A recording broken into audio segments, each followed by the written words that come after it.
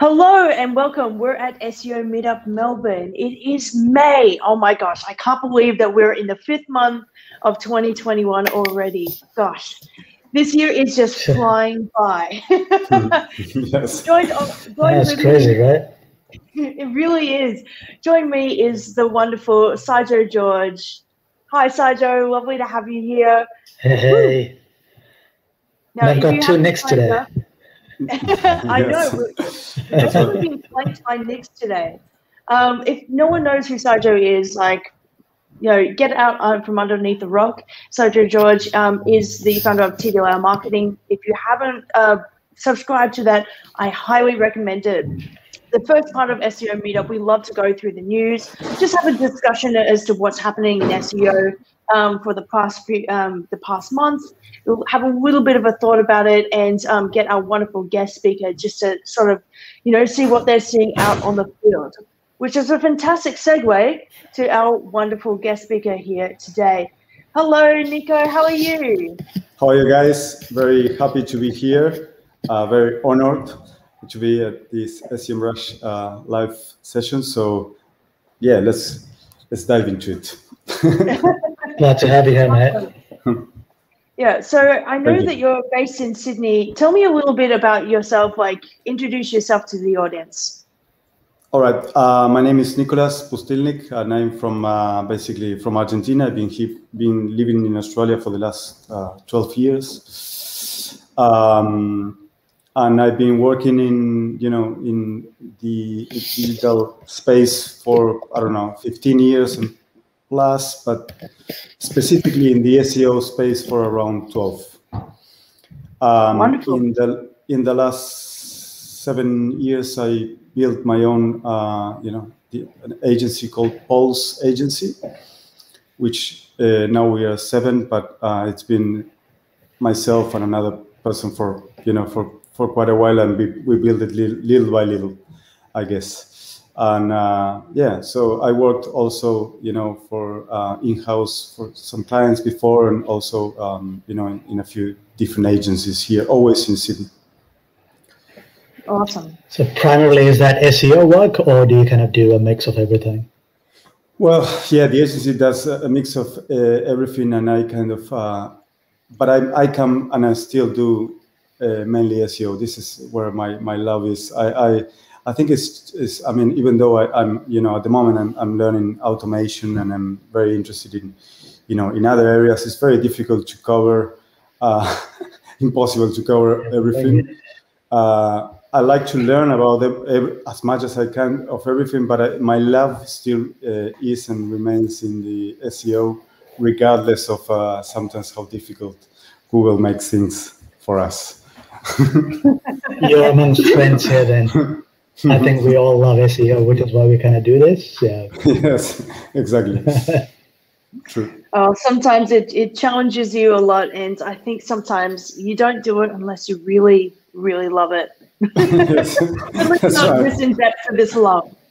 That's right. Woo. Yeah, it, change, it changes. It changed a lot since you know when it first started. Was like pretty much uh, the Wild West. You know, you know, link building was it was crazy. I mean, very few people would know what, what it was. And it changed quite a, dramatically uh, in a lot of things. Uh, for the best, it became a much more interesting and mature industry. And much um, on the other side, yes, sometimes you know Google uh, made things very difficult. And yeah, it's it's it's what it is. I guess it was uh, definitely way easier back in the day. That's for sure. yes, yes. like yeah, yeah. Yeah, very, very easy. But also, you know, as you, you could position sites very quickly, but they would go down very quickly. It was like crazy uh, Wild West. I, I would. Well, back in the day, it, like back in the day, I would say, like you know, even if it went up quickly, it'll kind of stay there for quite a bit of time before it got taken down. Yeah. But like you know, when you have more people doing SEO, it might be a good thing that Google is kind of cracking down on some of these things, so it becomes harder to an extent, yeah. I guess. yes. Yes. Yep. Yeah. I agree. All right. Well, All let's right. um speaking of getting cracking down on things and making things a little bit harder, what has been going on in SEO for the past the past few weeks? Um, I will lend um, this next segment to you, Saijo, to lead this with um, TLDR marketing. Again, um, this isn't a sponsored post or anything like that. There's no money that's exchanged, but um, I am someone who is subscribed to TLDR marketing, and it's a great way just to filter out through the web, especially for Australian SEOs out there. Um, it is a really great resource, and we um, definitely do recommend it. So, what is in the news for SEO going on right now, Saijo? Right. So, um, so with TLD about it, what I try to do is try to curate like you know everything related to digital marketing or most other things related to digital marketing, and then kind of link out to those posts, right? So it's not purely SEO. I kind of look at some of the other things as well to kind of keep tabs on what's happening, just to get a general idea to kind of have, I guess. Mm-hmm. So one of the big things, I guess, that was announced today was uh, Twitter is launching something called Spaces, which is kind of like uh, Clubhouse, but by Twitter, right? So that is actually pushed out today. So anybody with over 600 followers, I think it is, can mm-hmm. start like a Twitter Spaces session and they're kind of you know launching some new features in there like you know you can have um, tickets so like you know if you're hosting a live event you can ask people to subscribe to that and kind of get tickets for that so like you know that is an additional revenue stream that some of these uh, creators can use i guess so that was just announced today. So it's definitely worth checking out. And um, if you guys aren't aware of what Clubhouse is, it's something that is being adopted by like you know all major tech platforms. Like you know linkedin is looking at it. Facebook already has something in the works. Mm. uh, twitter just launched theirs. Uh, linkedin is kind of doing it and i think even like spotify was recently seen sending out a survey asking people if they use clubhouse and all that so think of it like stories but like you know that's the new stories I think every platform under the sun is kind of you know going to have a version of Clubhouse at some stage. Awesome. Mm-hmm. Um, just going back to Twitter Stasis because um, that might be relevant to people out there. Um, so, when you say stasis, is that S T A S I S? No, no, no. Spaces. Sorry about that. S P A C E S. Spaces. Oh. yes. Yeah. See, I, I just do SEO. I know nothing about social media. That's why you have TLDR marketing. Exactly. Exactly. so sorry, Twitter Spaces. Yeah. That's very very useful if yes. anyone is wanting to run subscriptions and wanting to find another revenue source. Mm-hmm. All right. Yeah. So uh, you might need to update your like you know I'm guessing Twitter app to kind of get that because when I checked like a couple hours, hours ago, uh, I didn't have the feature to run it yet. So mm-hmm. just update the app, kind of wait for it. It might be a slow like you know rollout. So but like everybody with over 600 followers should be able to kind of start those soon. That's awesome. All right, what's cool. else? Uh, what uh, else is up there in the news? Uh, another thing was AdSense related search experiments. I think uh, they're going to temporarily pause that. So uh, if you're running related search experiments in AdSense, you might not be able to start like you know do that from about May 10th till like July. Uh, the other thing is Yahoo is apparently being sold again. So Verizon, who actually owns Yahoo, is selling it to a company called Apollo. So Yahoo, they have been sold a couple of times, and now this is the latest, like you know, iteration oh of that, God. I guess. Uh, so yeah, so I'm guessing a lot of folks will still remember Yahoo, but like you know, a couple of years or like you know 10 years from now like i don't know if it will still exist because a lot of the individual properties mm. that are there within yahoo has slowly kind of faded away so eventually it might kind yeah. of fade away into nothing as mm. well it's it faded away from Com- the 500 more important companies you know it used to be one of the 500 yeah. top companies and now it's not uh, mm. Yeah, they used to be the biggest threat for Google. I, wouldn't know if it was a big threat for Google, but it used to be one of the biggest competitor, right, for mm-hmm. Google. And like you know, back in the day, Yahoo used to come up with all these great innovation, like you know, mm-hmm. Yahoo Answers. Back mm-hmm. when Quora was like you know not even on the scene, uh, I believe like Yahoo had like a webmaster tools um, yes. thing even before Google, if I am remembering it correctly. This was ages ago. So stuff like that. So they were really great, but like you know, it's what happens when you kind of don't stay sharp and kind of you know. Mm. Yeah. Positioning was, was a big positioning was a big problem for them. No, it's like trying to do a lot of things. Um, you know, never they never kind of. I think it was more of a business decision. Uh, yeah, you know, they tried so many things, but it wasn't clear the the business proposition and and you know Google came in with such a simple, you know, uh, proposition and basically I wanna- moved them aside. Yeah, so I think the thing with Google is like once they came out, I think the writing was on the wall for Yahoo because um, the product wasn't as good as Google search.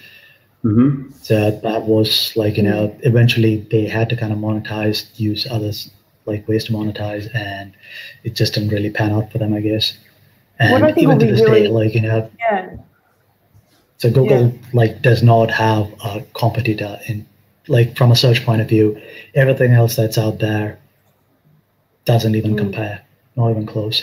So Well, there are there are countries like Japan. I think that Yahoo is um, the dominant search engine that they use there.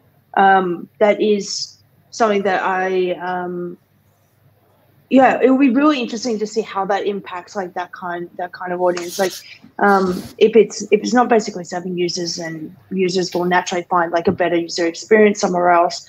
Google being the probably the natural um, knee jerk, I would imagine. But it's it's really interesting to see that like like what was it like back in 2016 or something like that like verizon was wanting to buy out yahoo and it was sort of seen as like well once they do that then they'll capture more of the audience like for the us and that was sort of where it was paid towards. But like you were saying like I just, it just it just seems that like from um, an actual innovation and um, they just weren't able to meet the mark. So it's up for sale again. Um, john mueller um, who was actually like the um, you know head of webmaster tools at google i think um, yahoo japan is a completely different company i've been corrected and i, I trust that source right. um, but it will be really it would be really really interesting to see what happens from that edge what are the ramifications from a user perspective hmm Yeah. Well, I personally think that Bing is an amazing search engine. Um, the problem is is the the share, the market, you know. Um, but in my view, the world would be much better with more Googles. I mean, it would be amazing if we have like before five or six or seven, and not one Yeah. uh, player. Um, but that's a problem that I see in the internet in general. You know, it's like Amazon rules. You know, the space, Google rules portion of that. the space. Uh, uh, Mm. Facebook rules one thing, and you Uber run, and we have five corporations running everything, and, and the opportunities are less, not more. Uh, unfortunately, that's but that's uh, yeah, it's a, that's what happened. I don't know. like with Bing, I think like you know they have recently pushed out some new updates, like in like you know in regards to how their knowledge graph is displayed and all that, which looks really really great. Like you know from a Mhm. visual point of view, kind of looks great. So there are, I think, like you know some aspects of Bing that is like really turning out to be good. But like from an everyday search point of view, like you know when you're trying to search for something, I still find it very lacking but Mhm. that might just be my experience. I don't use it much. I have to say. I use yeah, I use Google most of the time. But every time I use it, I, don't, I mean, I find it quite good. I mean, I don't know if the, their index is probably uh, they, they I, I would expect their index is not as big as Google, but uh, I don't. Uh, I haven't done any. You know, it's just become so. Uh, Google has become so dominant that looking at at, at other. I mean, mean, we used to call in the SEO. We used to talk a lot about search engines. Now we basically say Google. we we don't use the, the, the, the word search engine anymore. You know. Uh, whenever but- we're looking at source medium we're always seeing that you know google is the predominant player it's funny Mhm. that um because here in australia we for a very weird hot minute there thought that maybe like google was going to not be playing in yeah, no. um, this space whatsoever um and it's funny like um Greg That was a scary just, like, time. Yeah, we tried that briefly with Facebook for for a hot minute, um, but then mm-hmm. I think like there was a renegotiation there. But um, with yeah. Gregor Sandi's written like you know Bing is just waiting for Google to stuff up, but um, I think it just reminds me of that really great tweet that Brodie Clark, another great Australian SEO, um, tweeted out like uh, about like if you think that Bing is a good search, um, you know, alternate like search experience, um, you're in a, for a very frustrating ranking experience. Um, and you know, he gave some really really great exa- uh, examples as to like, you know, how it differs among search engines, like with um, you know, exact match domains and like um, just like really dramatically um, influencing the, that usability as, as a point of reference. So mm-hmm. I don't know if Google, um, I don't know if Bing is just waiting for Google to step up. I don't think, um, I, I think that these people will have a very, um, they'll they'll think of like you know what is the better good and I'd be very surprised if Bing, Bing were to um, really be able to overtake at this stage. But you know, lots of people still search Bing. I think it's just a source of habit rather than from a UX perspective. But that's just my two cents. Yeah, and some computers come with uh, you know Bing kind of being uh, the the search engine that you know comes by default. Um, mm. I guess that's still plays a, a, role, especially in, in people yeah. that are not that sort of techie and stuff. They just use mm. what's been put for them yeah. to use by default. You know, yeah. I think it's kind of you know baked have an iPhone with Safari. Like, you know, exactly. Mm. Mm. And there are enterprises where, like, you know, you might not be able to change the search engines and stuff like that, where people still use it. And from what I know, Bing has some really good like loyalty programs in the US where when you kind of search, you get rewards and stuff like that. So mm-hmm. I'm sure they have like you know a small piece of the market, but again, like personally, like when I'm trying to search for something, and this is mm-hmm. like mm. you know not an not as an SEO, but when I'm trying to look for something, which yeah. is what people would use search engines for. Like again, none of the other search engines, not just Bing and mm. not DuckDuckGo or anything like that, they just kind of fall short, I guess. Yep. So yeah, it'll be good to see, um, like you know, um, definitely, yes. like you know, well, should like we to um, see get on like, anybody else kind of step in. Yeah, yeah. So we might yeah. kind of. Be um, one thing, have you guys used? Have you guys used yet the? Uh, I guess I mean one thing that I discovered not so long ago was the.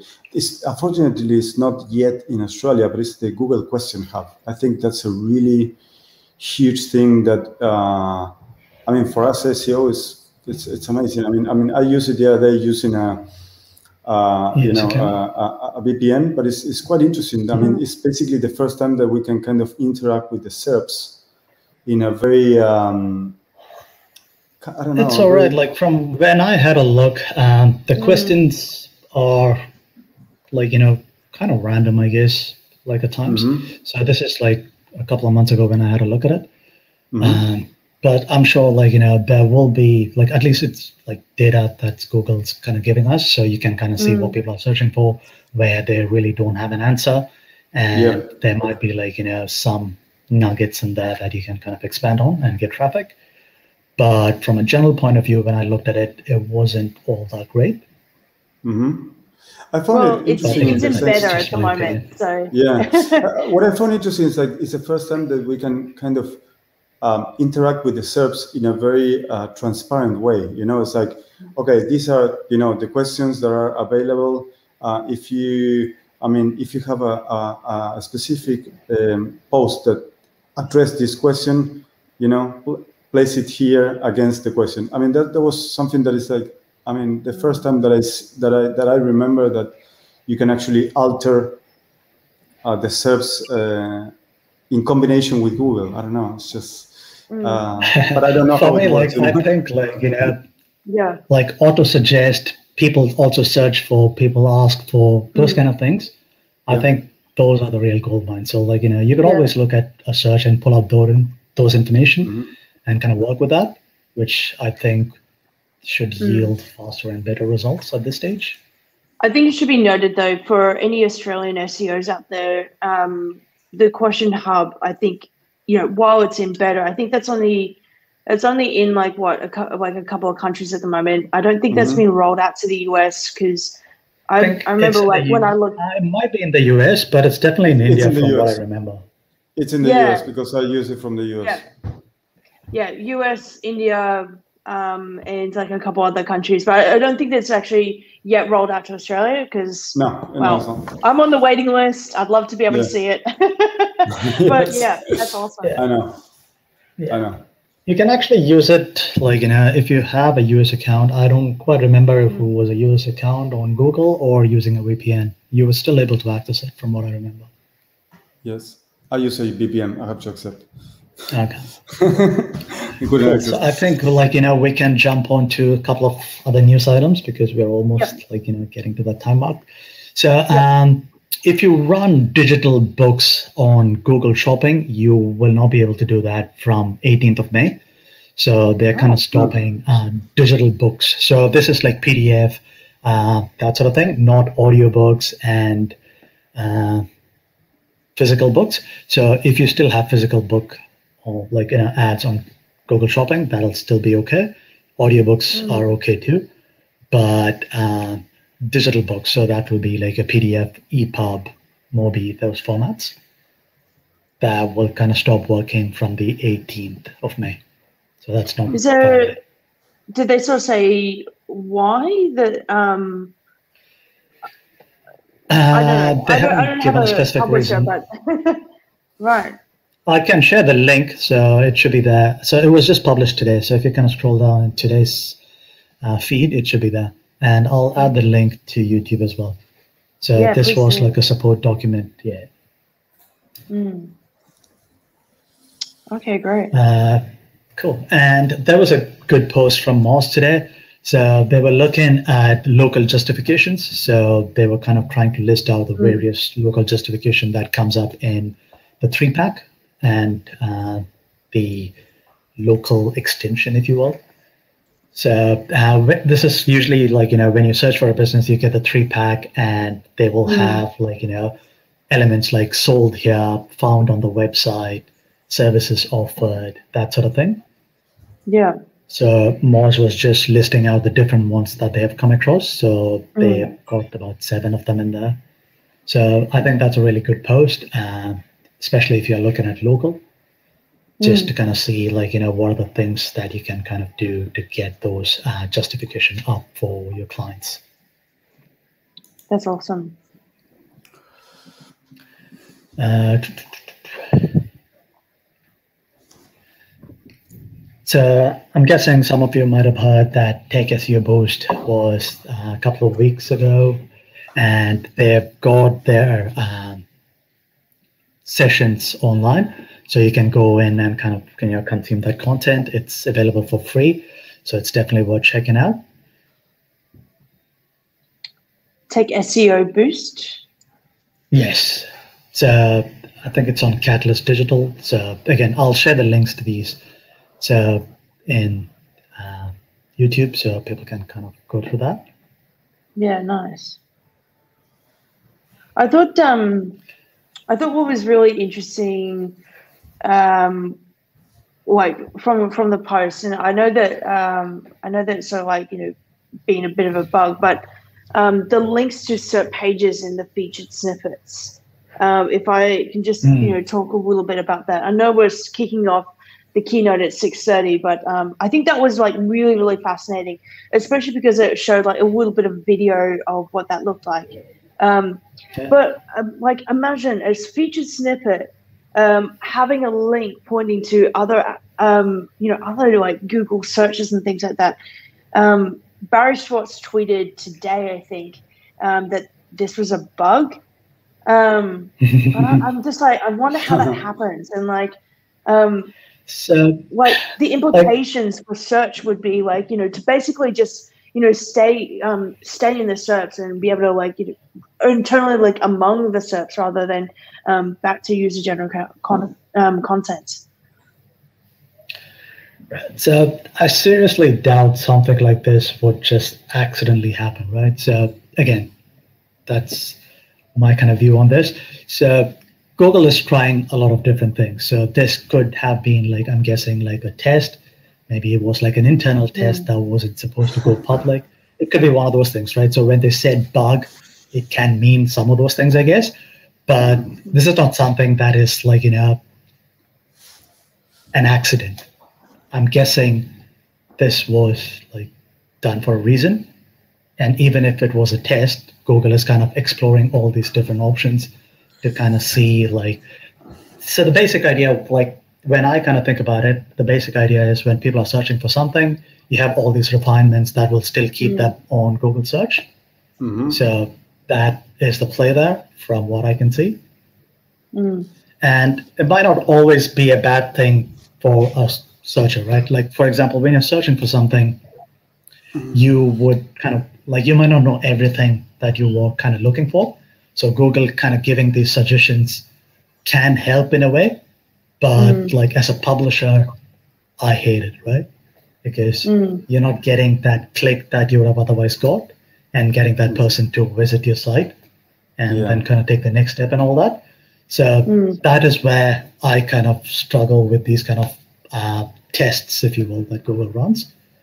Uh, mm. As a user, I kind of see some of the value in there, but as a publisher, it becomes really, really hard to kind of like, you know, the end of the day to kind yeah. of monetize what you're kind of putting out there and kind yeah, of, you know, keeping yourself in business, I guess. Mm. Yeah. I think that's a, a, a mm. universal concern, and I'm sure you you agree, Nico, as well. Um, I just Absolutely. went um, back to to that t- tweet, and um, yeah, so earlier today, Barry said that Google told him that it was a bug and it was not intended behavior for links on featured snippets, and is actively working on a fix. Um, but you know, for everything that you just said there, Saijo, mm it would be really, really interesting to sort of see that, like, okay, well, they are not wanting to roll something out like this because I think um, it would just kind of further fuel the fire that a lot of people are really concerned about um, their ad revenues, like with AdSense. Like you know, we they rely on organic traffic to be able to bolster things up for them. Um, that'd be very mm-hmm. very concerning if now there were like dynamically um, generated links that are pointing in different places. You also have mm-hmm. um, Brodie Clark, who's just um, also joined the, the feed as well, which is kind of awesome because I literally just mentioned him minutes ago. Mm-hmm. But yeah, I agree with Peter. Way a strange, strange bug though. It's not exactly something you'd accidentally code in. Um, I don't know. I don't know I mean, if, if it's so, like, like it's not by accident. So that's right the thing. Uh, so they have kind of tested a few different variations of this, right? So from what I can remember, they had like a link from these featured snippet go to Google hosted pages a couple of months ago. Mm-hmm. And uh, there was another variation of this as well, where you could hover over a link, it will show a model with mm-hmm. information from third parties. Mm-hmm. So they're definitely testing a lot of different things. And this mm-hmm. test, perhaps it wasn't meant to kind of go out publicly, but like here we are. So, so like from what this is kind of telling me is they're kind of trying out a lot of mm-hmm. different things, and one of these things will eventually kind of come into the SERPs. So mm. even though these are tests, they do all this yeah. for a reason. And we what do you think, Nico? Well, I guess I mean there's always this tension of um, you know I mean, Google wants to be, you know, sort of the, the, the, most, I mean, the best source to find for all of us to find the information. And that's quite important because the mm-hmm. minute it stops that stop happening, you know, people are going to go elsewhere. But the the business model is based on the idea. I mean, what benefits the business model in itself, where Google makes money, is for us to say, um, you know, at their SERP level. That's where they can they can show ads uh, and and you know so it's always i mean it's difficult to understand what they i mean i'm sure that they try things all the time.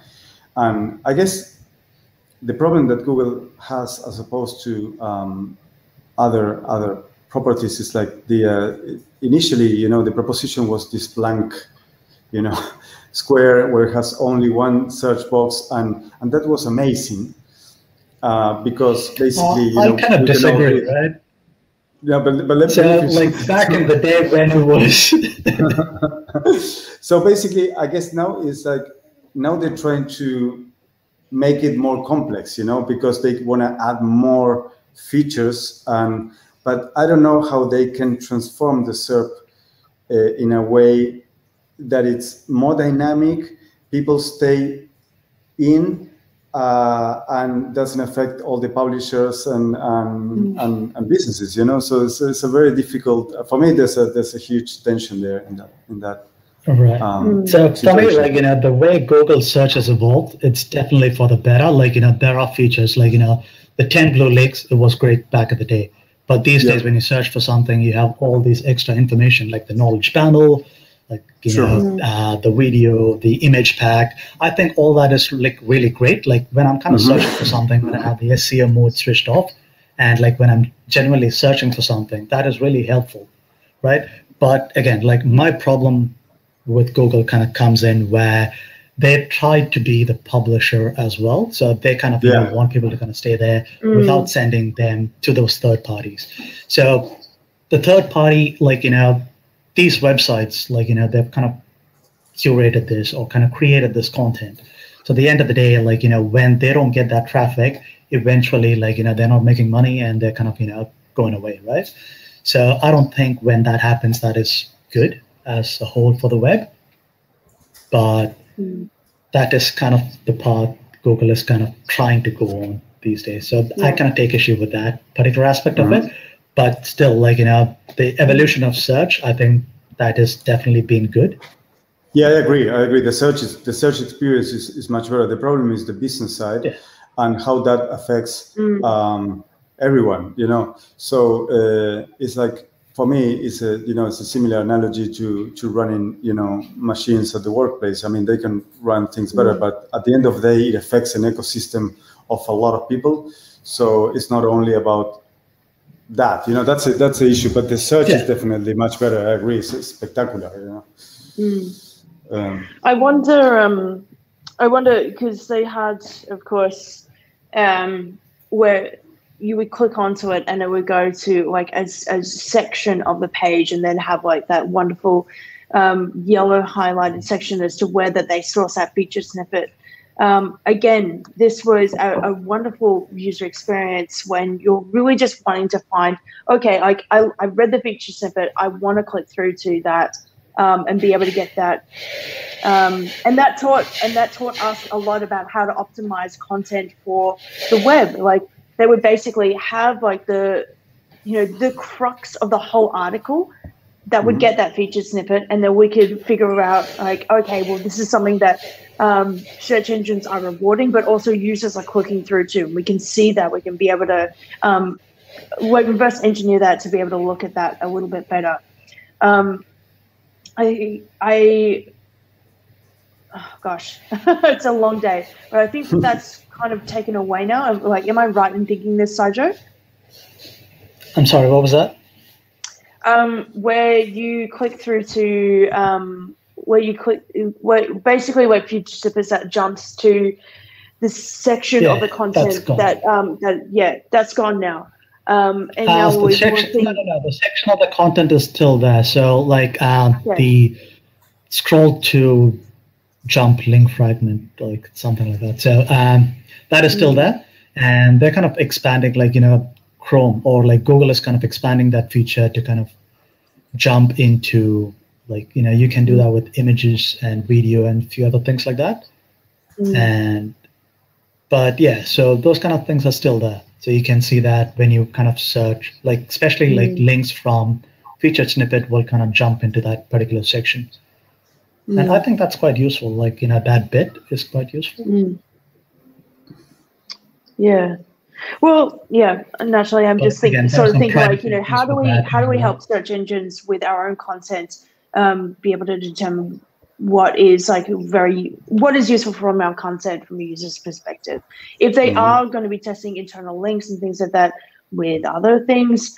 Um, if we were to have better internal linking with our um, with our content i think that's always going to be a help. Um, well the big takeaway is here have a better content that serves your users have internal links that point them to something meaningful and useful. Um, mm-hmm. you know keep keep doing that. We're not saying we're not to do that. It's just really fascinating to see how search is evolving to better map it out from users from the SERP all the way to the website. So um, mm-hmm. as an SEO, we're just always just trying to figure out what is the best way um, from what we can see um, to be able to serve better content for the users. I think that's a good place to end it if that's all right, guys. uh, just uh, two quick things. I, I think there are two it. other quick things that I kind of want to touch on. Uh, one is like, you know, Google has pushed the uh, page experience update to mid June. So I think that's mm-hmm. big. Yes, that's so very important. Thing to know. No, yeah. And the other thing is um, like, because like, you know, uh, like there is a lot of pressure, like, you know, from Apple to kind of, you know, take away third party cookies. Like advertisers are kind of looking at different alternatives, and Google has put uh, towards this new thing, FLOC. So I keep forgetting what that kind of stands for, but like, you know, you will kind of group people using Chrome into different buckets from what I can understand. So again, like, you know, uh, this is not my area of expertise. So if I'm wrong, somebody please hmm. correct me. Mm-hmm. But like you know, that is something that Google has been pushing for through Chrome, but a lot of the other browsers are kind of taking a stand against it. So that mm. is something that you guys might want to be aware of and go research on. Awesome. Cool. So with that, Alrighty. I'll hand it over back to you guys. Nico, I think this is a really great place for you to actually be able to show us um, your fantastic keynotes, which I did get a little bit of a sneak preview before anybody else. Uh, um, so, um, without further ado, please take the stage. Um, okay. Just click that little share button um, yep. And to be able to share your screen, and we'll be able to see your fantastic keynotes. Let me see if this is uh, window entire screen. Mm-hmm. This one. Sorry. Can you see? Yeah, I can. And here it is. Uh, yeah, yeah, there we go. Boom. I got it too. Yes. Gosh, that looks like Amsterdam. is it? Does this look good, guys? Yeah, it looks great. Can, can you see the Just yes. makes me miss the Netherlands. Yes. so, so basically, I thought about well, what, what, what, what, what is it that I'm going to talk about? You know, to uh, in at SEMrush, and you guys. I mean, I'm you know, you know shitloads of uh, theory and, and things and stuff. So I thought about, you know, um, we got a lot of um, uh, some companies lately asking us to kind of produce content hubs for them, yeah. Um, or topical hubs, some people call them, and um, or, and and I guess what what I was um, what I thought it was like, okay, well, what I, I mean, we created kind of a system to to create them, uh, and also some tools that I'm gonna talk about them. I don't receive any endorsement or anything. It's just you know mm. talking tools uh, that can help us with this uh, big uh, uh kind of uh, projects. You know, and yeah. um, so without further ado, I'm gonna continue. Start. Excellent. So yeah, uh, my name is Nicolas, Wait. as I said. Oh, sorry, we can't actually see your size yet. We can just see your desktop. Oh God. Let me see. so I must be doing. I must be sharing the other one. Um, where can I? All right. So, what you can see on the screen is what um, all the users can see. Ah, right. Sorry for that. Uh, uh, so basically, let me see if I can. Let me see if I can share this again. Sorry for that. Mm, okay, so this one should be. Uh, now, can you see yeah. the presentation? Yes. Yes, Present sorry. mode. Beautiful. So, awesome. I'm going to so, jump on mute and um, take it away. Okay, so, you know, feeding the beast, creating engaging, uh, result-driven content that meet clients and user demands. Um, this is uh, me. Um, you know, I run Pulse Agency. We're a team of uh, seven at the moment, and we do, you know, basically lead generation, SEO, um, PPC, social marketing, and, and automation. Um, okay, so I look for, you know, first of all, uh, for some stats and, and, and everywhere that I look, basically content marketing is, is, is growing. I mean, there's of course, uh, you know, sources that show more growth than others, but it's, it's an area that definitely uh, there, there are, the data suggests that it's, it's growing as, as, a, as a market and, and that companies are taking, um, as this one, as this uh, SEMrush one showing, um, more consideration uh, within their marketing strategy. Uh, I guess uh, some of the you know the, the classic uh, stuff it's always been you know it's, it has kind of maintained you know blog posts, uh, email infographics, and case studies. I, I, it hasn't moved much in terms of what what what are the things that company are requiring, but definitely uh, there is more, uh, you know, videos growing for sure, you know. Um, not only video infographics as well, but a video, it's, a, it's kind of a must.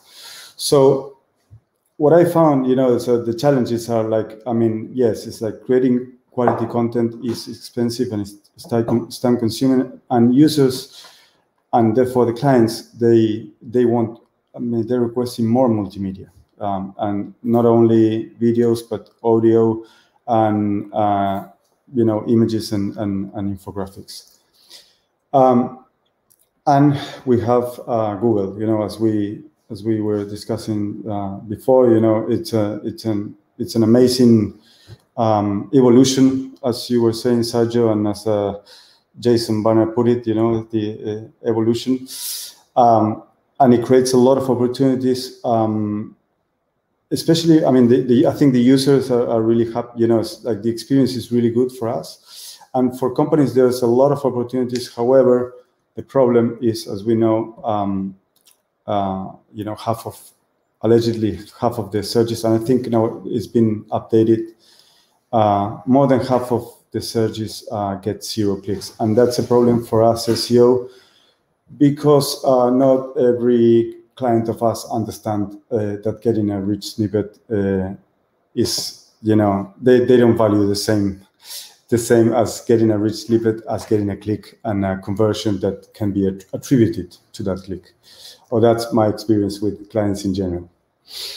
So, um, given that you know the this the, the demands in terms of uh, content generation are increasing and um, and content and companies, you know, they actually, um, you know, they, they, they value the the um, the idea of creating more. I mean, they they perceive content as an important thing to solve users' problem, and that the asset uh, generation has become, you know, uh, more demanding. So basically, we have to not only create better content, but uh, create images and videos and and you know and optimize everything for SEO. And I, I thought, or I want to show you uh, a, a, few tools that can at least help us to kind of organize this information and come up with some ideation so that we can have some, you know, free some time free uh, to basically use it where it matters most, which is you know the creativity and the strategic thinking. Um, and I'm going to just explain this by a, you know, a sort of a case study that we have inside. Unfortunately, I can't name the brand, but it's a, it's a share accommodations SaaS website, one of the biggest of Australia. And they came to us uh, basically looking, you know, to improve their, um, their traffic generation. So um, basically, I mean, we created a, a, a a, content hub for them, which I think in the end was around 300 uh, articles. Um, but we needed to create a, a process, you know, um, to kind of tackle this whole, you know, um, project. And um, yes, it's a kind of a, a, a simplified, um, you know, or, or, simple explanation of, of, a process that, you know, I, I will show you now uh, how it works. So in this case, um, in this case, we did a, a keyword gap strategy. Um, and this was uh, basically, I mean, content is such a huge topic and you can do things um, for, you know, in many different ways. But content gap, uh, uh content uh, gap or keyword gap uh, type of strategy is quite good when you uh, identify that there's already competitors that have created a hell of a lot of content and they have covered most of the of the of the topics, you know.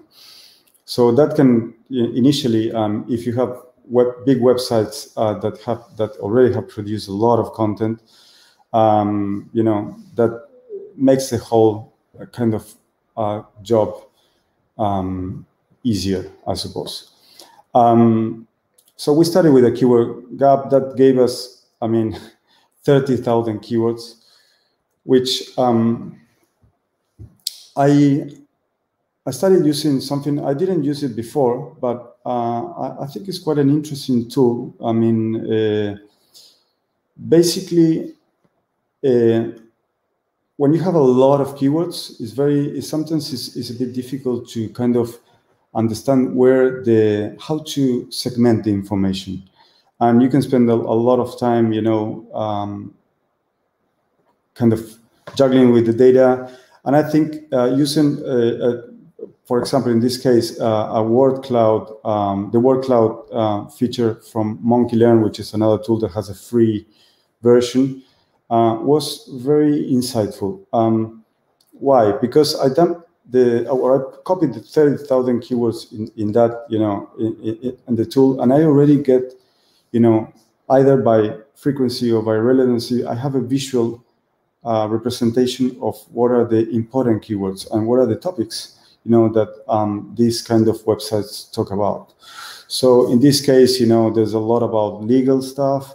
There's a lot about um, you know geolocalization or localized kind of information, uh, or basically even um, you know type of um, share accommodations. And and and for me, it is is quite. It, it was a, a very uh, visual and fast way to get the feel of how I was going later to segment all these big, uh, um, you know, spreadsheet. so this is how um, you know we we normally. I mean, once once we define the categories. I think it's, it's quite useful to get a, a definitions of the categories and build some formulas that you can tag or uh, structure that information uh, quickly. Uh, so in this case, we identified, you know, that there were, I mean, this is just an example, but basically we saw information that it was relevant to sort this information by, you know, by location, by kind of legal topics, by listicles, by um, tips, and uh, and that that was that uh, was quite a, an easy way of kind of organizing and, and getting a bit of a flow with this information that in the beginning it's like a lot. Um, this is kind of, uh, you know, what, what is a content hub? You know, basically is a, how it says here is a content hub is a set of uh, it's a set of content, usually web pages organized around a topic, a specific topic. You know, so usually a central page, and then um, basically, if you see here, um, basically what you do is you um, divide the content or the, the, the, content hub into different categories and subcategories. And as you can see, interlinking becomes, um, or internal linking becomes very, very, very important. So that makes the information kind of easy for users to access it, but also for search, for search engines to uh, access information and also understand the relationship between uh, each content, uh, each piece of content with the other. And this is a bit of an example of parts of the uh, of the uh, of the content hub, no? How we, we end up kind of uh, you know divided things into guides and tips and you know other uh, more legal information or more uh, within the about more type of the the more type of business uh, or about the company, you know, information uh, about the company. So once we have, um, you know, all this, all this, um, I guess, the, this the layout of the of the content hub, um, we need to go to the the, the content brief. Now, how we're gonna brief someone, uh, hopefully a professional writer, to um, come up with the you know the best possible um, content.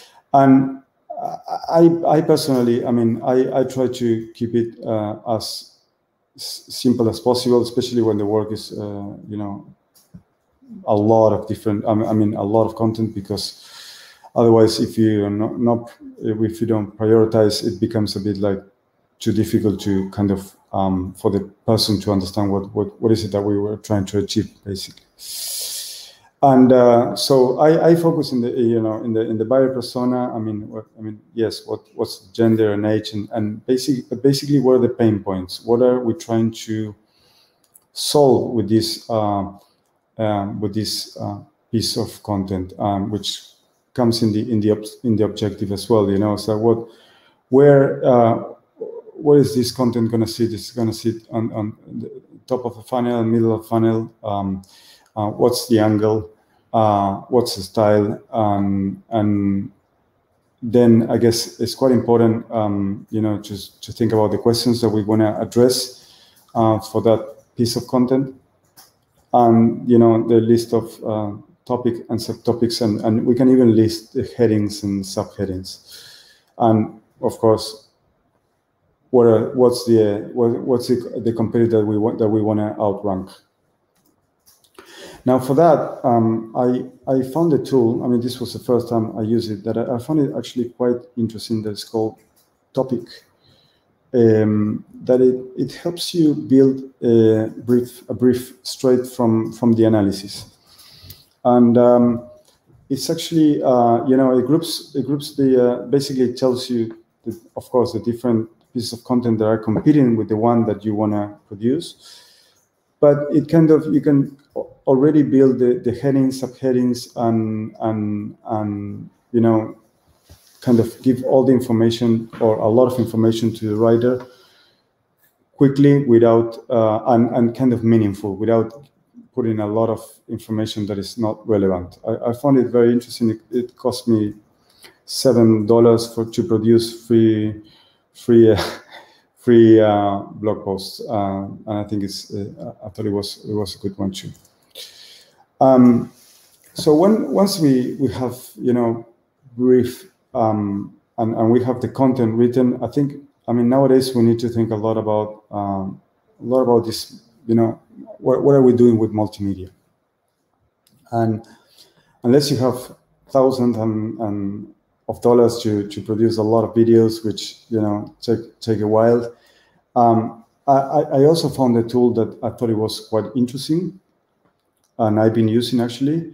And uh, in the beginning, I was I was a bit skeptical because uh, you know what, what it does is basically it uses NLP, uh, which is natural natural language processing, to kind of convert a post straight to a video.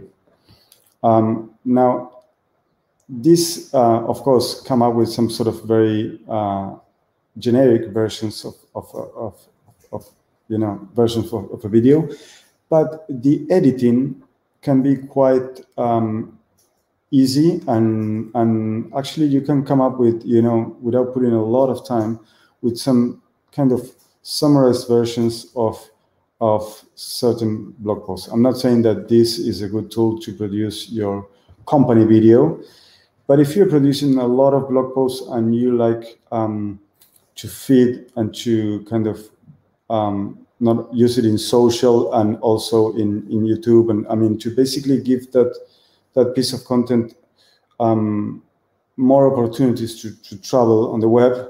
I think it's a it's a it's quite a good tool. Um,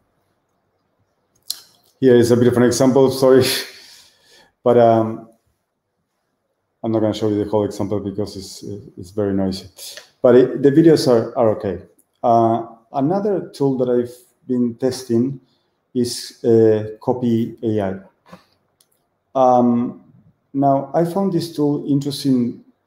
Basically, I'm not saying that you know this will write the whole blog post or anything like that because it doesn't work that way. We at this stage, natural language processing, as far as I can see in terms of software, is quite good in terms of um, understanding content, but not in terms of generation yet.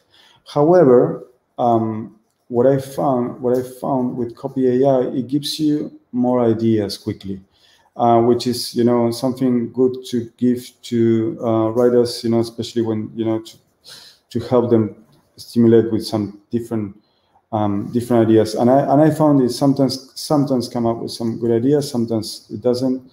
But uh, it's it's a tool that I think they're they're they're building um, and and and I think it's they're it's it's getting better little by little. Um, so after we finish, um, of course, with the you know with with creating the images and or, infogra- and or infographics and videos and and the content, we need to think about you know um, SEO and what SEO means. You know, now I mean, we and for me, it's uh, it's it's basically not only it, you know, expertise, authority, and trust, but basically uh, it's about thinking um, in terms of entities. And basically, uh, I mean, Google has become really good in terms of, uh, you know, with BERT, with natural language processing. So basically organizing the content that we are producing in terms of um, using entities is like feeding Google uh, information that it, it understands in its own language.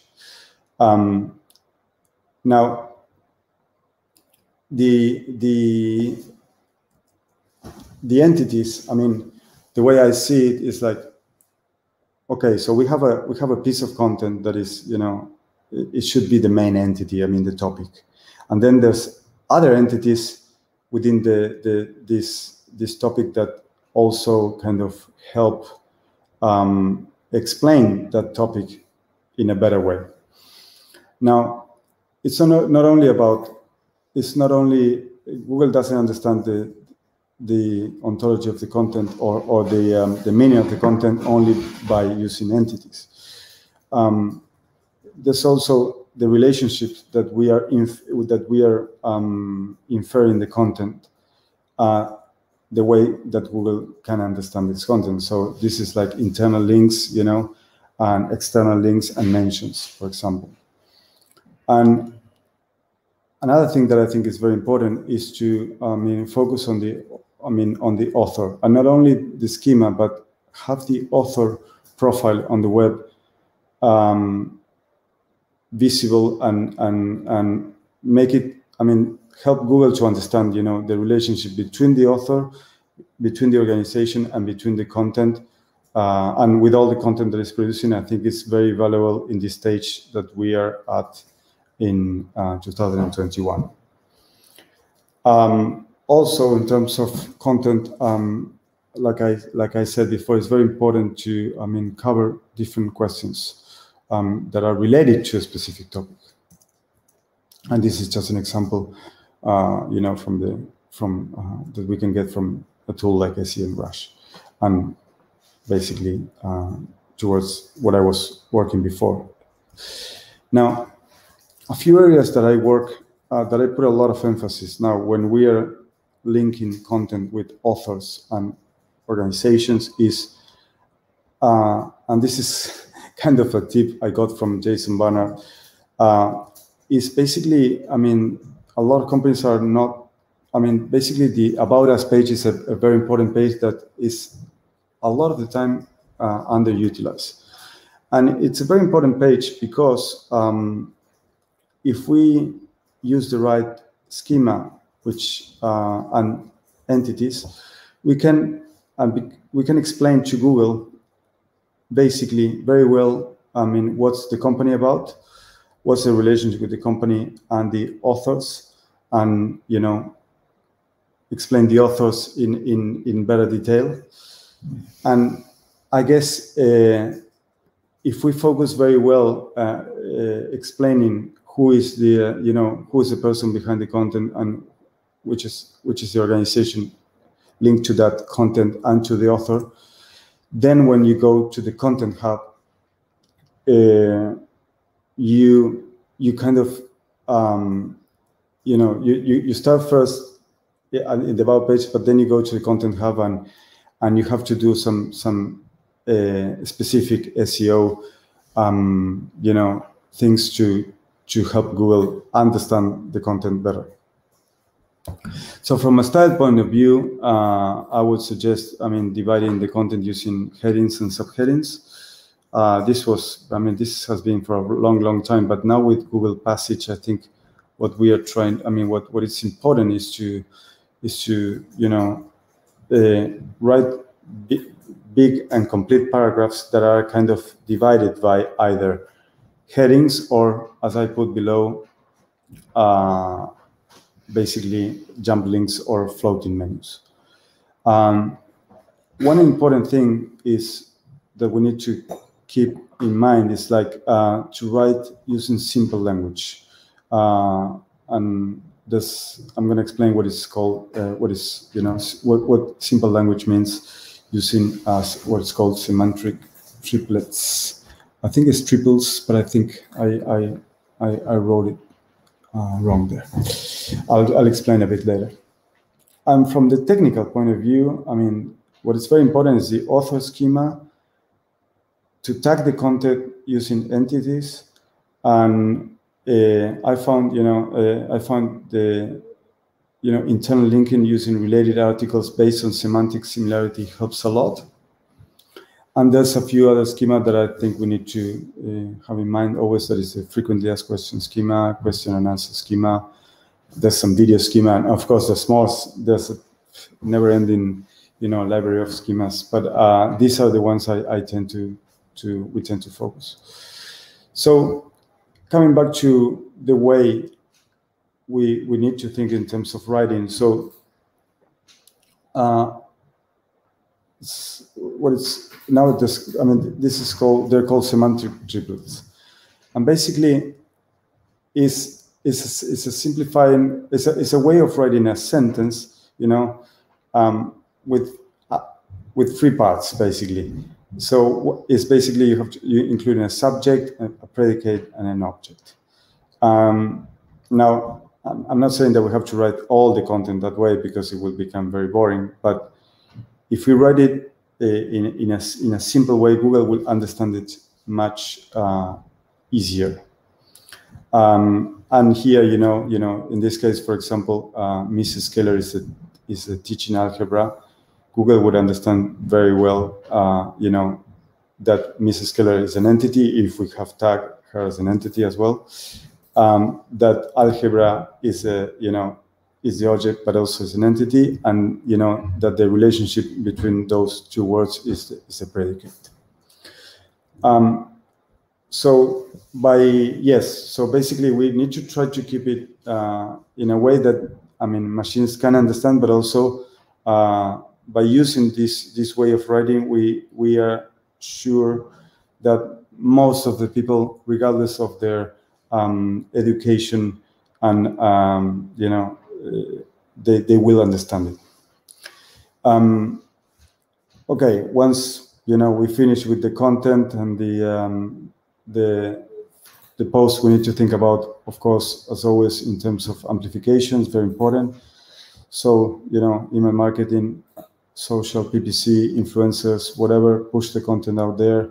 Um, link building is a way of amplification too. I'm not going to go into this in this um, in this explanation because it will become too long. Um, so I thought about you know I'll do a, a, bit of a summary with the tools that I've been testing.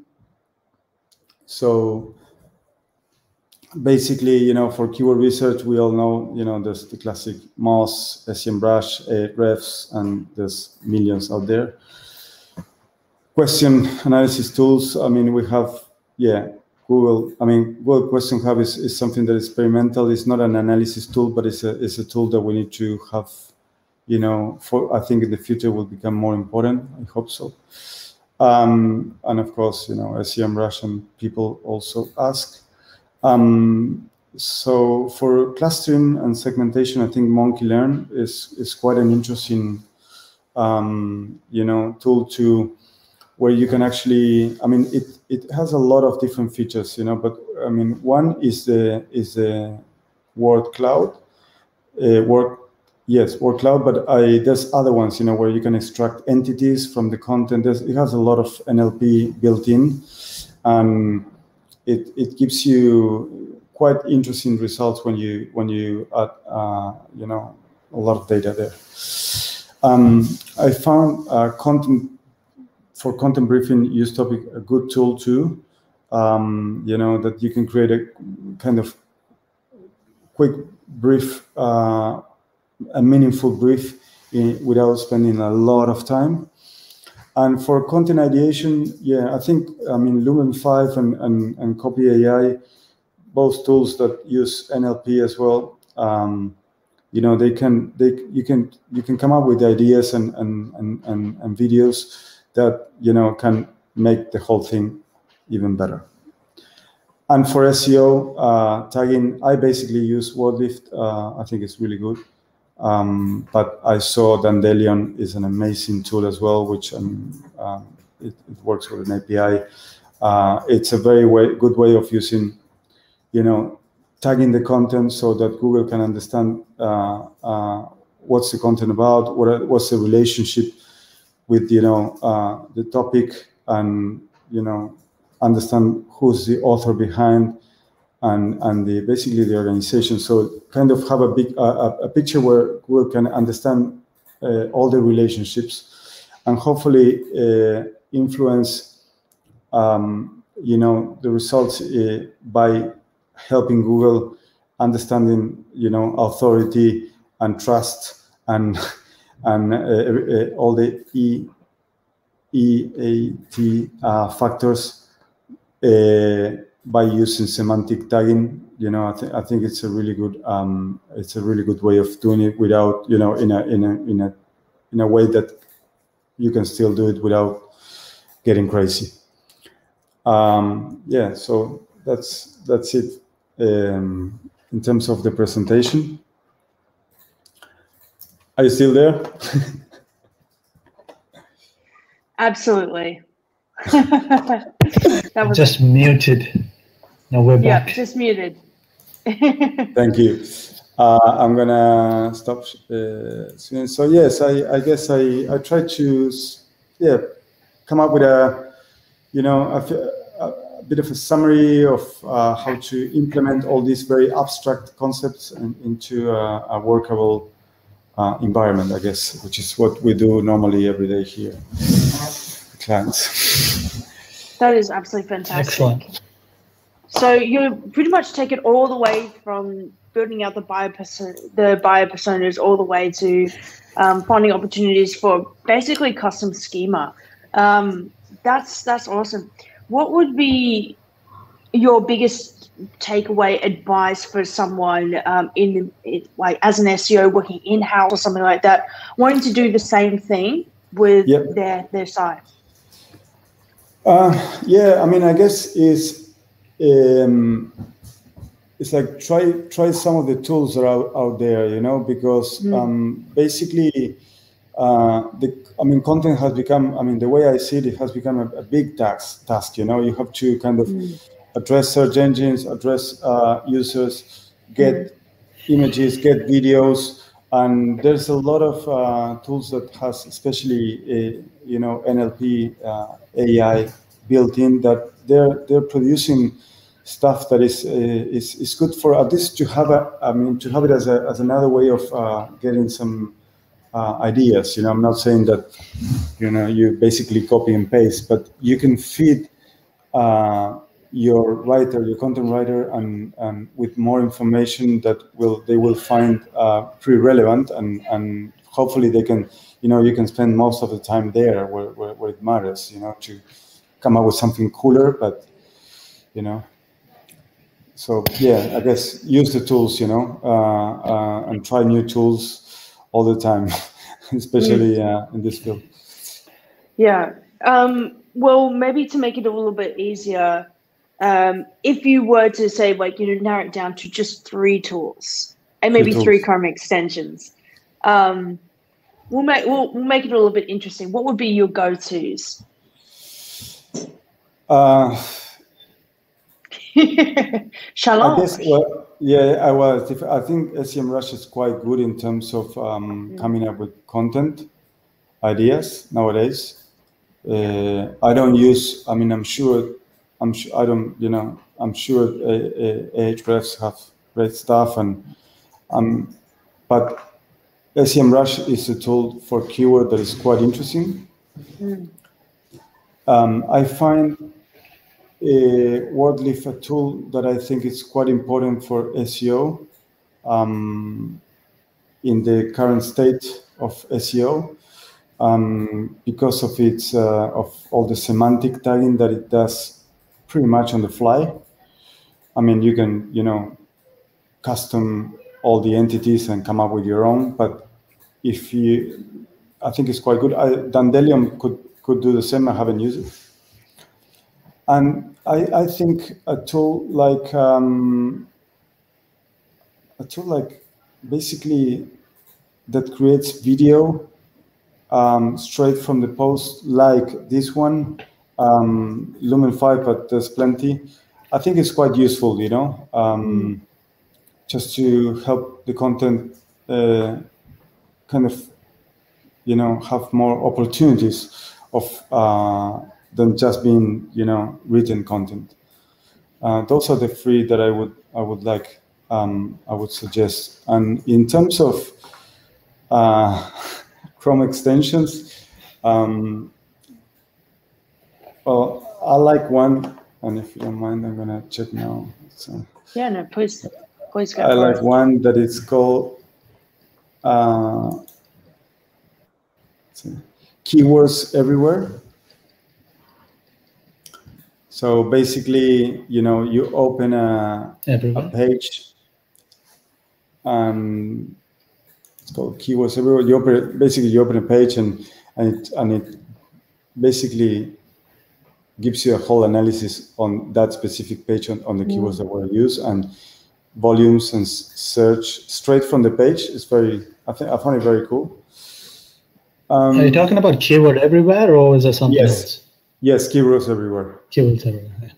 Okay. Um, I've I, another tool that I mean I've used some Chrome extension, but I I, uh, I found interesting also. Um, I like I really like this tool called uh, Ayima. I don't. I mean the company is called Ayima, and it's a, it's uh, a tool that, is that the Ayima redirection tool? Yes, yeah. I really like that one. I mean, that's a classic. Mm. Uh, and yeah. now I think I'm using a lot of the Lighthouse, you know, uh, mm. because of all the, the work, work, work core analytics. And those are the three that I use more. Um, then, yeah, I mean, if I have to put it free mm. I, I don't know, what, what tools do you find more useful? And of course uh, screaming frog and stuff but uh, i'm talking about yeah. more about content and, and, and stuff. What what yeah uh, what software do you guys use? Do you, what tools do you like using? Uh, for me search console is something that i can't live without i think. That is yeah, like you know that's the one. Uh, yeah. Like if like you know i want to be limited on the number of tools that i can use then SEMrush because mm-hmm the one tool it does a lot of things maybe it doesn't do everything in the best possible way but mm-hmm. it gets like you know a fairly good way there so mm-hmm. if you are going to spend money on just one tool SEMrush but other than that if you have got the money then i would go ahrefs for links mm-hmm. uh, for content uh, there are a lot of good ones out there so Frase, uh, neural text uh, what was the other one? Uh, it's not Content Harmony, but there was another one. I can't remember the name at the top of my head. Mm-hmm. Uh, for content generation, uh, conversion.ai. that is Mhm. really solid. Uh, and a shit ton of those. So like, you know, there are lots of tools out there. I've got a Yeah. page where I kind of list all the good ones that I kind of, you know, see. I just Mm. add those things there because like half the time after a couple of weeks I'll forget what it was. So at least I can kind of go back to this list and kind of see that. That's right. So yeah. Pocket. It's very good Yeah. to keep, I keep think all the. I think yeah, sorry. I, I kind of cut you off there. Sorry, Nico. Um, no, I think me, uh, I, again, like, uh, so Search Console mixed in with Data Studio can bring out some really, really great insights. Um, I like using, um, you know, Google Trends as well. That's really, really Yes. good for some great top level information as well. Again, free tools, we love that. Um, Yeah. But yeah, SEMrush, um, especially like with the ma- um, keyword magic tool um, with the questions. Yeah, the questions are really, really easy. And literally, like the thing that I I do with SEMrush is I'm like I'll grab that, I'll just put it into like a site command. Like I'll just put site command URL plus keyword. Does that exist? Yes, no. Um, or can we serve this content on this page a little bit better to be able to serve um, the kind of queries and answers to, to be able to optimize things on that page. Um, for everything else, like for news stuff, again, SEMrush is kind of like um, not sponsored by them, obviously, but just saying like they are a really useful tool. And to the public, I, I think for me, I like to use free tools because I think um, one, it's accessible, um, extremely accessible for a lot of people out there, and two, Yeah. Um, if you are going to invest into tools and things like that, you've got to know that that's going to be worth it. I see a lot of in-house marketers that have a very limited budget, um, and they just want to get shit done. Sorry, Yeah, they just want to exactly. get done. and not Exactly. exactly. not have so many barriers as to like, yeah, I want to do this, like, it's going to be really, really useful. Um, want to make sure that that's actually going to somewhere meaningful. So, um, for me, I try and like, I try and like replicate things that I feel like, um, like my corresponding audience that I talk to, my clients, are going to be using, um, and just kind of speak to that. Mhm. Um, but th- something from the community, um, P- Peter Machinkovich is a phenomenal SEO based here in Melbourne that um, that um, is a good friend of mine, but also an amazing SEO. He's saying like neural text um, is on AppSumo. ClearScope was the one you were thinking of, maybe Saijo. Yes, Um, that is the one. And, and Gregor Sandy, you're not the only one who uses Google Trends. I also really, really like that, um, especially for just like top level insights um, with, you know, how is a brand growing in comparison to other brands? Um, what kind of state or region um, is something more prevalent than the other? Um, again, you don't really think about it, but when you work on enterprise level clients, these kinds of insights are extremely useful. Mhm. Yeah. So, like in terms of Google Trends, right? Like you know, there are a few others, like you know, uh, Google Shopping Insights, Exploding Topics, Pinterest has a trends page, uh, Muckrack has one. So there are a few like that, and when you kind of put all of these things together, it kind of Mm. gives you a better picture, I guess. Yeah. I really like exploding topics. I really am excited to see where that's going to go. At the moment, Mhm. it's just basically US data and a- Australian SEO, working predominantly on Australian clients. I'm excited by that, and Yeah. that's really cool. I want to see Australian data. Yes. so I'm really excited to see what Brian D is going to do with that tool, especially if he's going to integrate it with an API. Who knows what's Mm. going to happen there? Yeah. Mm. Um, I do have a bit of a question, particularly when you go towards the schema end of things. Um, Sorry, the technical um, SEO aspects of things um, is the thing that I really particularly like to ask questions about. But Yeah. um, finding opportunities within the content to be able to have um, schema and whatnot, um, particularly when creating your own custom schema. Um, Look, I think this is something that a lot of people kind of come into into a bit of um, uh, a bit of a grey territory to be able to understand or, or have like other tools to be able to um, use like um, ID references. They're not really designed um, to kind of like be able to give you some good troubleshooting or to be able to have um, some way of you know seeing when you're when you are you know going the right direction and you're not going the wrong direction. Um, it's almost like uh, it's like a bit of like a standalone kind of like script container. Um, I think oh, again, just um, reading Twitter in, like on my break today, I think someone was talking about that today, and it does kind of like um, speak to a little bit of annoyance there. What's your experience with writing custom schema, and what kind of like great advice can you give someone um, that's seeing all this great content that they're putting out there and wanting to show um, search engines of all kinds the relative um, context with schema? Well, schema is. Uh, I mean, I I have a. I for me is is is yeah. Sometimes is is is kind of difficult um, when you're getting and you're venturing into schema types that are not the most uh, obvious. Um, mm. so what I do is I try to find um, you know the schemas that I'm looking for. Uh, if someone has already built them, you know, and then I, I build them on, on, on top of, I mean, following their syntax.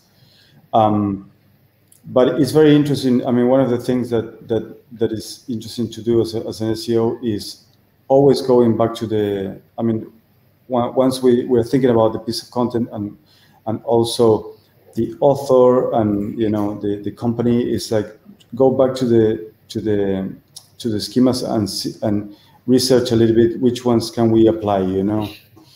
Um, and mm. there's a lot, um, but sometimes there's a few. I mean, there's some that they it they they might not work well, specifically to um, what you're doing. But uh, it's hmm. it's it's I think it, it's it's an area where you can make a difference. You know, if you if mm. you if you roll your sleeves and, and, and, and check apart from the classic schema that appears, you know. I think. Yeah, absolutely. absolutely. what would you say would be um, a really, really fun thing that you've seen um, from implementing schema and then being able to see that, um, you know, live in the set and being like, yeah, that was me. That was awesome. um, well, in terms, I mean, I don't know if it was in terms of schema, but I, what I like is like, you know, when you, when you can uh, uh, basically uh, get uh, a knowledge graph for, for a person. Uh, basically, oh, I did yeah. I did that for one of our clients, and you know, it, it wrote a few if you wrote a few a few books, and then you know, basically by using you know by trying to influence the I mean, by, by, by doing a lot of different things, eventually he got this knowledge graph based on his name. And I think that's uh, something that he really loved, you know. Still nowadays they can show you know shows to, to the people and friends, etc. So that's was that's that for the author or yeah, an author. Right. Okay. That's awesome. Um, yeah, so that, that's something that I think uh, clients really like. You know, when they see all these uh, mm. Snippets popping for for their for their brand. You know, um, and yeah, I, I, guess they value that a lot. And what, what about you? What, what are your, uh, your examples? That's something that you, you like, something that you enjoy. Well, I'll just um, I'll just speak on on you know what you're saying just there. I I, I love the I love that you've been able to get a knowledge graph from them. And again, like a, like being an author of a book is a really really great place to mm-hmm. um, you know to kind of like fast track it almost. Like I feel like those um, those authors really do get a leg up, especially if you do just a little bit of work, like making sure that um, all of the you know all the relationships are really really well mapped out and um, mm-hmm. um, Google can really understand it like from create like helping to create that graph. Um, yeah, I think I think that's absolutely awesome, and it just reminds me so much of a lot of the work that Jason Barnard's been doing with WordLift. I think WordLift is um, honestly like some of the best use of ID references, like from yeah. um, looking at them running it on some of my clients. For me, mm-hmm. I think, you know, just like really, really simple things where we'll be doing. Um, this isn't like the most like sexy thing out there, but mm-hmm. having having all the schema like you know produce no errors and then like we're seeing all those wonderful review stars pop in. Um, oh, yeah, and then doing a bit of analysis of okay like with the longer term like this has been running for say like six months um, what are the impacts on a revenue? For some products um, particularly with, with ones that are like you know around the three star and lower sort of marks they didn't they had um, a worse um, revenue stream. And of course, you always fielding those kinds of questions with like, you know, why would I want to show bad reviews for my products? Like we want to just like get, you know, dollar dollars in here. Um, but we always have to think of the longer term. For all of the products that have uh, a lot better reviews and like a lot of them, we saw massive improvements on revenue coming through to that because what? We're giving the user an ability to be able to make an informed decision. Um, mm-hmm. And again, like from a from a structured data perspective, um, you know, just doing those reports, looking at those analysis, like we all know that that's kind of like you know the right thing to do. But when you can actually back that up in the data to be able to yeah, see absolutely. that and be able to generate um, more more revenue for your client, um, when we stacked it up, we made more money. I mean, that's great. yes. and we yeah. like, you know, month on month, year on year, you know, consecutively after that first test when we rolled it out back in like what are we like late 2018 and now all the way up to here. Um, they've just been really paying in the, the, dividends of being able to see that kind of stuff um, coming through. And again, it's all just back to um, being able to give users more contextual information about their purchasing decisions. So mm-hmm. for me, um, it might not be the most sexy thing out there, but I like I kind of just love that we could get like some kind of like one to one, um yeah, kind of value from that. How yeah, about you, Saijo? Sure. Structured data. Oh. What do you? I don't know. I don't know if like you know, I get excited by structured data. Of course, like you know, I look into it and do it, but like I don't think it excites me. You've been in the game so long that just like, yep, okay. Um, I, yeah, I, so, um, yeah. no, that's all good. awesome. Now I do well, get the importance and like you know the need for it and like how it can help, mm-hmm. but yeah, it's not something that I am overly excited about. I guess. I, yeah, I'm no, very, fair enough. I, am very um, interested in in branded SERPs nowadays, you know, and basically, mm-hmm. I have a friend uh, in Argentina uh, that is uh, quite a, I mean, he's quite a famous painter. He's young still, but he didn't know, I mean, all the opportunities that he, I mean, I put his name with one of my mm-hmm. best friends, and I was telling him all the things that, and I, I didn't have the time yet to work, but actually, I would like to help him uh, get because his SERPs they look ama- his SERPs could look amazing you know basically mm everything. You know, he has all the placements, uh, video. I mean, Google knows a lot about him, but he never did anything. He's just a bit of a uh, it's a bit of a space cadet in that in that sense, and he's not techie at all. But I I, I, I like the idea of uh, understanding the you know the the the brand and, and, and helping Google understand the different aspects and facets and, and, and how you can, you know, inform uh, authority to a website that sometimes doesn't have a lot of links with, uh, you know, by, by showing, you know, for example, an author related to the brand mm. that is that is has a lot of authority. So, so it's a different way of mm. thinking than just getting, you know, links here and links there. That honestly, I found it incredibly tedious. The whole link building thing.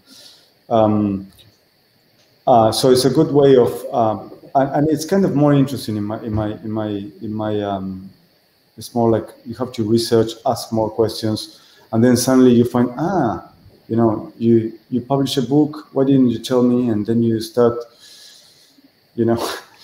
Uh, making all these connections, and you see that it not only it affects the um, the um, you know the SERPs they look better with all these rich snippets, but you see that you know the visibility um, goes high. I mean, it's difficult to sometimes to I mean make these correlations, but uh, you know it's, it's something that happens yeah. quite often when you find these links that are inter- in- interesting. You know.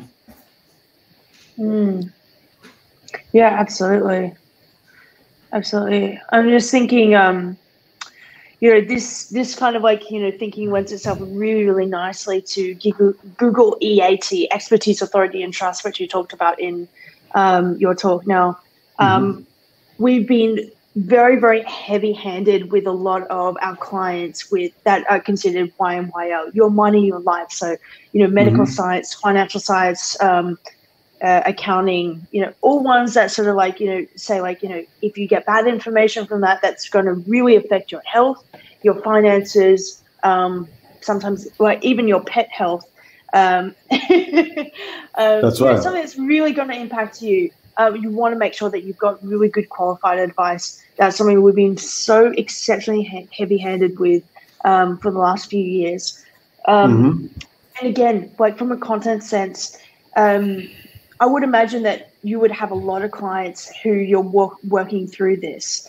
Um, what are your um, what are your top things that you sort of you know go into with you know getting on like say like a medical um, like a, like a medical kind of like niche site that um, really doesn't have a lot of understanding about what what they're entering onto um, with the service. Mm-hmm. So what would I do uh, with a medical site? Um, well, I guess first of all, you need to have a, a, a disc- I mean, you need to have your own discovery in terms of understanding what are the, I mean, what are the um, all the topics that are involved in that industry niche, you know, and mm. for, that's why I think it's very important to start with something really big and and and use these tools to kind of get a, a bit of a feel of the ideas uh, on or or I mean I, I, can call them I guess topics that are you know subjacent to this you know mega I mean to all this data that you, you're gonna get so you understand mm. what what are people I mean are looking I mean what are they trying to solve uh, what are the kind of credentials that are important to show um, um, in uh, uh, for for customers and and you know to, to mm. trust in them. So what are the credentials? What are the the all, all the all the trust signals you know that that are interesting uh, and important to show, and also what are the um, yeah the, the type of questions that they have around the different services. I guess you know um, that are part of the the medical practice. I guess. Um, mm. So and and and then uh, I, th- I think it's very important to understand where where do they, I mean, how you organize this topic uh, or these content hubs in a way that makes mm. sense um, to users and for Google to kind of retrieve that information and connect it quickly. Mm. But uh, it's important to, I guess it's, it's, it's, it's, very important at the end of the day, besides the data, is going and talking to the people, you know, one on one to the people, to doctors, to um, the secretaries to the people that actually um, deal with clients and, and uh, have a feel of what they're what they're what are their um, you know where what are their normal you know um, questions and and and how can you address that in the best mm. possible way um, that's that's I, I, think it's important to to actually go and interview people leave the computer a little bit and uh, and and get a feel of that mm. I would definitely agree with that. It's so important to maybe we go outside of um, the scope of your company and be able to get some really good qualified advice. Um, I work with one of the biggest pet suppliers here in Australia, and mm-hmm. um, when it comes to giving advice, like for pet health, and this is kind of like um, why I, I, I into there. I'm like, you know, they're a massive authority in Australia, and they don't really mm-hmm. have um, a lot of too many headaches with being able to rank for some really great competitive keywords. But mm-hmm. I always think it from the perspective that um, if we are to give advice that may um, sub- substantially negative impact like health of like you know any human or animal or anything out there, um, you better make sure that it's from a qualified veterinarian. Um, yeah. So you know, it doesn't matter if, if you are a content writer, or you're a copywriter, for example, um, yeah. have the content that you're actually writing up there verified by a medical professional, a veterinarian in this particular case. So Um, mm-hmm. One of the things that we are really trying to push is to have all the content reviewed, um, and this is where Schema comes um, in um, in um, to be able to help you. Mm-hmm. So um, there's a lot of historic content, and it would be really really difficult to go through and be able to do all of this. But this is where we're going through and having a veterinarian that that they paid for um, to be able to review this content, to be able to look at uh, it over, to be able to add some in, uh, information and update it um, for 2021 and gives like some, you know, current relevant advice around um, these topics. And yes. then um, after that happens, then we can literally be able to use that with um, with schema.org uh, reviewed by schema. So this was reviewed by John Smith, comma veterinarian um, and we can be able to have all their same as links um, be pointed to them with their person schema on their own like little um, bio page that exists on the website so um, those are the kinds of things that i think are really really fantastic um, when we're thinking about content um, to relate yes. it back to its expertise but that is honestly so becoming so much more important like you know who are you getting this information by um, there is a really good movie that came out that I haven't that's seen. How you, that that's how you show trust, you know, and authority as well, you know. Yeah. That is it. Yeah. But also, sorry to interrupt you. I think there's yeah, no, no, please, for please. Um, which I haven't used, but it, it sounds it sounds very very good. Uh, I, mm. mean, a fact it's a fact check schema, you know. Mm. Basically, mm-hmm. when um, and this is also, I guess, to, to tackle the the bigger problem here that is fake news, no. Um, yeah and I think I think this is what's what's what's happening now, and it will evolve in the future. Is is this mm.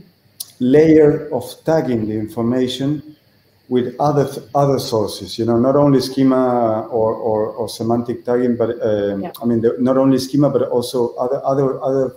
Yeah, I think it's going to grow a lot in terms of mm. how the data gets validated and, and communicates with other yeah. uh, other data. You know, I don't know how to explain it, but I think it's what, what's what's happening now. It, it, will, and what you're saying, it will mm. become um, kind of a docu DocuSign. You know what I mean? It's like you using DocuSign on the web, mm. kind yeah. of like that. You know, opening the web in a way that it makes sense for users, more transparent for users and for Google. You know, to identify what's better than what what's good and, and what's not so good. You know? Yeah. I think like you know there are some sites like you know that timestamps things and put it on the blockchain and stuff like that. But again, mm-hmm. like you know, I think a lot of these don't have like a direct impact on search, at least not now. And there are certain industries that really get the benefit. So like your money, your health. So mm-hmm. definitely there, like you know, it definitely helps to kind of have that EAT kind of strong. But mm-hmm. for like other things like e-commerce, like I really don't think EAT plays a huge part there. Not in like at least like not in the directional sense mm. that like you know you should have like uh somebody verify this and all that. Like mm. A lot of those things mm-hmm. will kind of fall back to the trust that people have with the brand itself. That mm-hmm. is the real kind of you know powerhouse from an SEO point of view. Mm. Yeah, for sure. I mean, there's the in different yeah different industries will have different signals. Are, yeah, sorry to yeah. yeah. So basically, what you were saying before about the doc, you know, the medical stuff is. Yeah, I, mean, I think uh, this this is kind of like where I, I, I sort of do tend to disagree when it comes to e-commerce.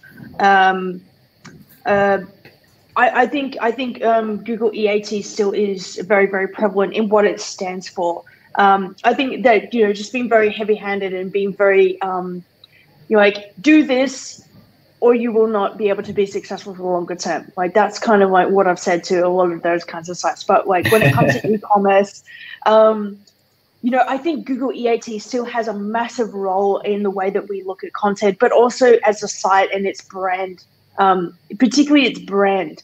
Because um, I think when it comes to um, when it, when it comes to authority, that's where it's really changing the game. I mean, we've seen it so much. We've talked about this, like with um, the, the like you know the brand sort of SERP. Like Jason Barnard's done so much fantastic um, research into this area. It's fascinating. The brand, brand SERP is fascinating. Yeah, this. I mean, number one, prove your domain and your brand is mm. trustworthy. That in itself is not um, an easy feat for a brand new um, player on the e-commerce landscape. No. Um, check with like relevant institutions in your market if you're registered, recognized, whether you've got um, other people sort of like you know showing that you are a credible brand. Um, that this is again where we're sort of seeing like um, like all of this review schema and, and things like that becoming a little bit more prevalent. I kind of feel like this is a way of saying like, um, you know, if you're going to display product reviews um, on your dedicated pages, like that's after the fact you've done a lot of work to be able to show that your brand is actually um, a, a, really trustworthy place to be able to put your credit card information onto there. Um, so I think, I don't know, like the, the Google Quality Raters Guidelines, it's a 175 pages long, but it really does. Yeah, yeah. that was one like so, well, that was actually a. So the way I think about it, right?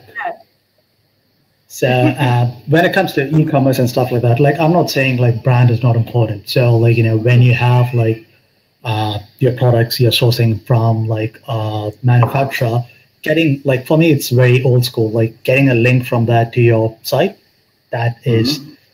from my point of view the biggest thing that you can do, right? And that is not to say that don't do like EAT stuff on the page. You can still do it but for me, the biggest value kind of comes down to link from those kind of sources back to your site or something. Um, yeah, I mean, to, look, I, I, think different. I, I, I, mean, I think different indus, uh, niches or industries um, kind of require different signals. So exactly. in some cases, uh, you know, emails could be, uh, uh, uh sorry, links can be a, a way of you know, establishing that connection.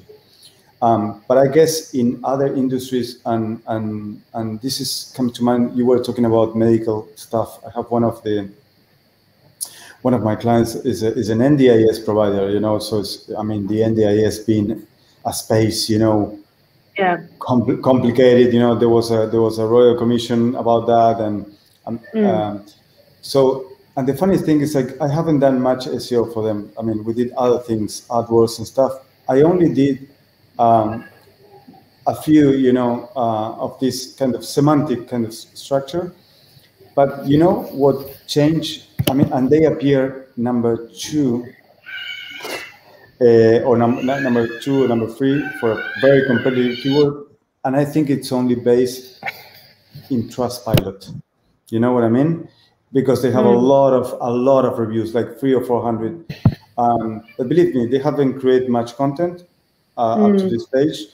Um, and we, uh, you know, they didn't want to go the SEO way first. They wanted to get sort of, you know, the lead generation going. Now we are after two years, we are starting yeah. with the SEO, and, and they got that huge position. And I think honestly, it's because of in that space, Trustpilot or trust or, or, or peer reviews uh, that you know mm.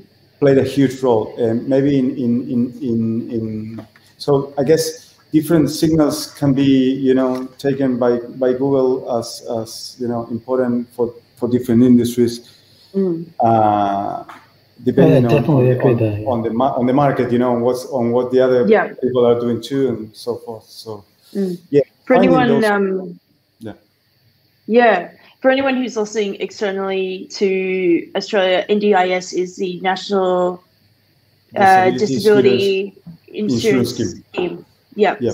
yeah. So, um, especially when it comes to, um, to disabilities and differently abled people, it's so important to be able to find, um, you know, some really good trustworthy resources. But um, yeah. going back to what you were saying, Saijo, I'm, I'm like, I think I know what you mean. Like, um, it's not the it's not the same kind of ballpark. Like we don't have the same kind of like really um, fine tooth scrutiny. It's just something mm-hmm. that we're working towards, um, you know, for brand credibility and things like that.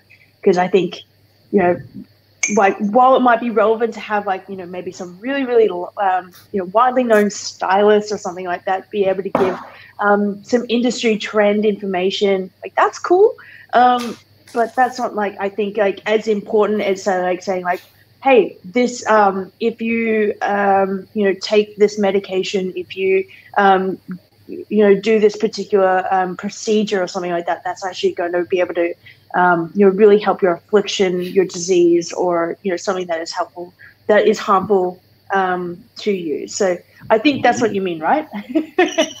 yes. So like yeah, I don't like you know disagree with that. So like especially in like your life, your money, like that is quite important. And you can see that like, you know, all like, you know, big brands that have those brand values mm-hmm. still kind of do these EAT things when it comes to that. Because you see like, you know, reviewed by like doctor somebody or like, mm-hmm. you know, uh, checked by like, you know, they add those information in with the relevant schema and all that. So especially in that industry, it is useful and it mm-hmm. has definitely helped as well. But yeah, what I was saying was not all industries will kind of have that same impact, mm-hmm. like yeah. you know that you would see in those industries, right? So I think 100%. that's what I was get at. Correct. Yeah. Um, I know that we've we've really really covered so many aspects of um, you know evaluating content, being able to, to um, associate it with um, you know the greater pool of the web. Um, but let's let's maybe like um, finish up with like okay when we're sort of thinking about content in 2021 what would be your top takeaways to be able to consider as as a young budding um, you know junior SEO in-house SEO that uh, really just is like you know how do I how do I how do I get past um, uh, a static ranking? Right. Uh, well, I guess um, yes, you need to start with data. You know, you need to gather first of all all the all the information that that you know amazing information that we can get. You know, with with these tools, mm. and and and once you have the data and you have crunch, uh, you know, the numbers and and you and you have a strategy, try to try to you know come up with ideas to improve the content, uh, not only from uh, making it longer, you know, but it's, there's other ways um, that we can, you know, interlink the content uh, with, you know, for example, I find sometimes very interesting when they use uh, uh, Spotify lists or, uh, you know, when, when you embed uh, tweets or there's so many things that we can do to to make that content um, more interesting from the user but also to create more i mean in a way you create more metadata that can be used for google um, to um, come up with other uh, relationships you know that to associate that content with with uh, different um, you know uh, topics and, and questions, etc. But it's yes, I, I, guess it's is um, is is the data is one one one aspect, and, and that's and that's fine. But then it's how we how we how we do something you know better, basically. You know how can we improve what it's actually being done by coming up with a with a um, you know a, a a better um, answer to, the, to that question, or like you said before, you know, maybe validating um, or certifying um, something uh, that is important in uh, by a, in this case by a doctor or uh, thinking a bit outside the square of just writing the content and adding as much as, as, as you can, you know, especially for the big important pillar pages. I mean, I'm not talking that you will be able to do that with all, all the content. It's impossible. Uh, not even newspapers can do it, you know. But um, there's a few pillar pages where you can put all all in there and um, that will get better results uh, for sure and hopefully will influence you know other uh, all the other content you know that is interlinked by so you know if you can if you can put a lot of stuff in in all the content pick the ones that you find where you have something interesting to say and hopefully uh, the ones that attract you know, uh, more more readers, I guess, more users.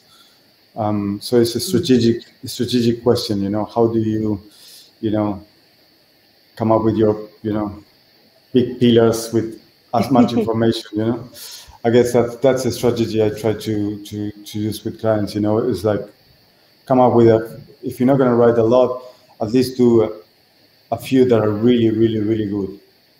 And mm. and and that's uh, in itself. Uh, sometimes you're lucky, uh, uh, you know, to that they can run by themselves.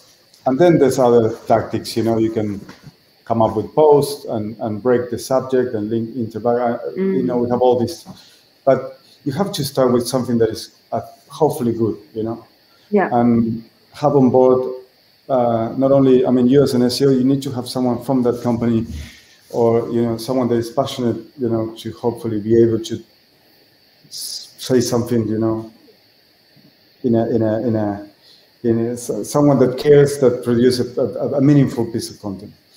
Yes. And, and put everything there, you know, infographics, videos, you yeah. name it, you know, as, as much as you yeah. can. Awesome. Saijo, what would be your takeaway for um, for content in 2021? Uh, relevance for me, that's what it is going to be. So, like, you know, mm. if you're relevant, if you're answering the relevant things that Google is kind of looking for or what people are kind of looking for, then you will kind of rank. So, for e commerce, it doesn't mean you have to have paragraphs of text above the fold mm. to rank. Your content is actually your product. Yeah. So, that is what the relevant content is. So, you kind of surface that and like you will still need all your regular like you know technical seo things your interlinking and all that but mm. purely from a content point of view if that content is relevant it can rank so it is best equipped to rank i guess mm. so that is the biggest or one of the biggest factors i would say wonderful takeaway wonderful takeaway um, and i guess i'll finish off with my own which is kind of like pretty much just echoing um, what um, Saijo and Nico has said, um, but just with a different word, search intent. Um, you know, find like actually just like type into Google, have a look at what um, Google actually shows as the most relevant um, mm-hmm. you know result for that particular keyword that you want to go out there and want to rank for. The thing that you know that um, customers are searching for. Um, make sure it has some search volume around it or or not. Like it doesn't really matter as long as it's like a good search query that is relevant to you. Um, just like Saijo was saying, and um, in terms of authoritative things, like make sure that the advice is coming from a reputable uh, um, expert. And if you have a reputable expert, then um, you know bully to you. Make sure that you're using like some great structured data to be able to link those in you know, have those um, internal links that point from um, the article back to the person schema, have them right in the nice in the top of the fold. Um, mm-hmm. And when it comes to e-commerce, um, make sure you're doing everything to be able to show that you're a credible, um, credible provider of, of services um, and products on the web. So that's really, really important. And yeah, for products, like have helpful photos of the product have really good descriptions that um, you know actually resonate with who you're talking to. Um, use like specification information, like have reviews, ratings, like from real users, real users. Don't buy real them. Users. My gosh, don't try and like, um, you know, cut through the line. like it is a lot of hard work to be able to be successful in the SERPs, but it is one that will be able to future-proof your business and um, I'm reading a really, really great book at the moment that is um, all about. Well, actually, I just finished one about Catch of the Day, which is catch.com.au, and then now I'm reading one about Amazon. And I think, you know, when we're looking at like these massive um, e-commerce, um, you know, behemoths, what are the common denominators to their success? They really understood what users were searching for, and they did their uttermost um, to kind of um, mute things that may be good for investor return, but more about like the user experience. And that's why um, a company like Amazon has the highest um, user rating of all time. Um, so think about that, apply it to whatever you're working on, um, and reach out to Saijo reach out to Nico, download um, TLDR Marketing, get all the latest great news. Um, reach out to Nico and his one uh, fantastic pulse agency if you're needing to get help um, because these guys are really, really fantastic. So to close up, it's your meetup. um, thank you so much, Nico, for Thank your you very time. much, guys. A pleasure to be with you. Thanks, Nico. Yeah. It was a great talk. Um, well if we were to find you after this, we want to reach out to you. Um, what is the best, um, you know, channel to find you on? Um, my website, I guess. Uh, that's uh, uh, I'm a I'm a you know I I I I'm on the email all day, or otherwise at my um, uh, Twitter, which is Pulse Agency AU. Um, those are the two places. Uh, so www or you know pulseagency.com.au or pulseau in Twitter. Otherwise, um, Awesome. you know. Um, so Pulse Agency. Is that is Yes. that wearepulse.com.au? No, there's a lot of pulse. That's a problem that I have. Uh, pulseagency.com.au if you want to write it here for you. Yeah, awesome. What is it? um, Just want to make sure that people can be able to find you. Awesome. Yeah, I just found it. I wasn't the only, even though I registered the brand name, I wasn't the only one who thought Pulse was cool back in the day. Uh, Pulseagency.com.au. Awesome. I'm going to um, link that here. So if you want to be able to find um, Nico after this, pulseagency.com.au, or he is on Twitter, and um, I've just given you a bit of a follow there. um, so, you know, go out, reach out to him, um, DM him if you will. And of course, the wonderful, um, lovely Saijo. Um, how can people find you after this? Uh, TLDR Marketing, that's one place, or you could just find me on Twitter or LinkedIn. It's Saijo George, one word. Mhm. That should come up. Wonderful. Or you could just Google me and see all the, you know, uh, cameo yes. videos and all that that I have. absolutely. Absolutely.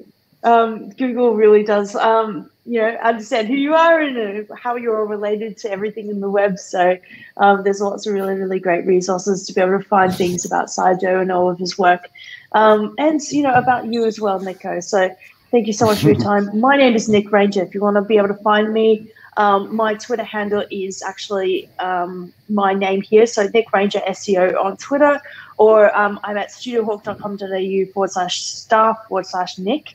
Um, and you'll be able to find out more a little more about me and just pop me an email um, at nik at studiohawk.com.au. So thank you so much for all of your time. Um, I wish everyone around the world, um, thank you so much for your time um, and stay safe, be kind to others, and we'll see you on the next one. Thank you very Bye. much, guys. Thanks, Have a good everyone. Thank you. See you guys. Ciao.